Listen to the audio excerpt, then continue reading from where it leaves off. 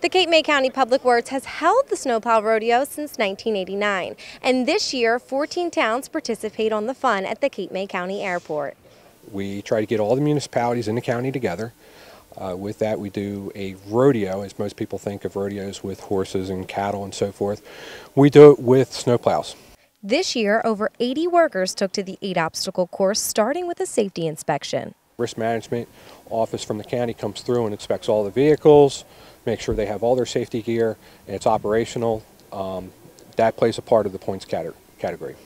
After the inspection, the plows go through obstacles to help drivers brush up on their skills of plowing near vehicles, in cul-de-sacs, and even near mailboxes. Regardless of what town you're in, where you're plowing, you're going to come across one type of issue that we try to face out there on, on the course. This year was very good, as usual. We learned a lot from this, and it's a good breaking in, letting us know the winter's coming, and we check our plows and get everything uh, prepared.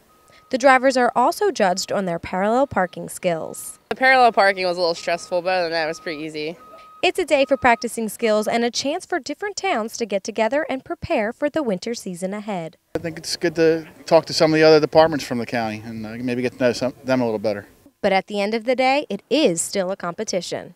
The competition is pretty stiff. We got a lot of different departments representative. Uh, we'll see what happens. I think uh, we did pretty good.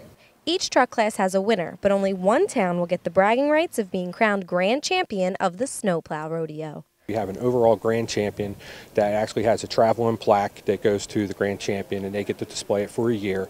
And at the end of the rodeo, each town should be ready to keep the streets of Cape May County safe through the winter. I'm Kimberly Kerr for SNJ Today.